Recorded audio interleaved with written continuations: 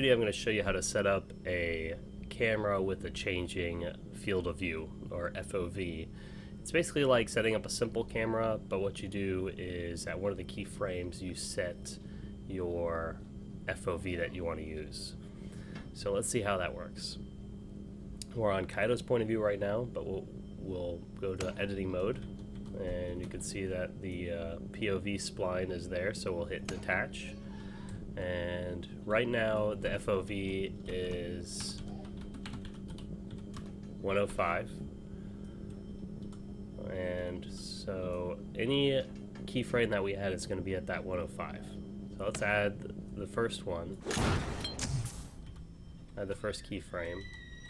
Then maybe move back here and add a second keyframe and then Kaido tries to shoot this guy, but the guy ducks his bolt, which is kind of cool. So what we'll do is we'll set a keyframe here. The moment, yeah, right at the moment that the shot is taken.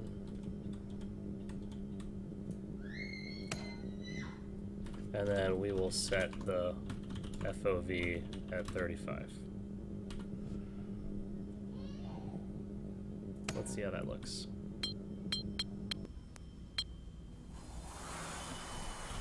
RE speed.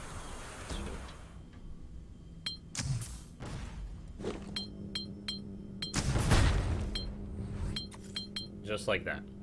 As simple as that.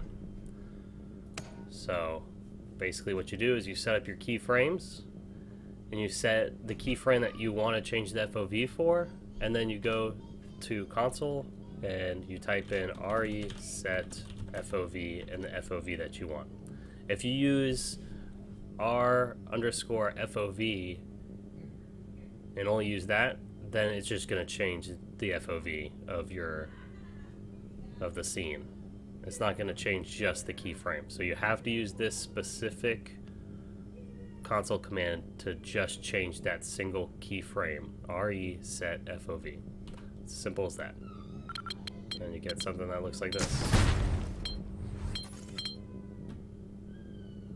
Alright, thanks for watching.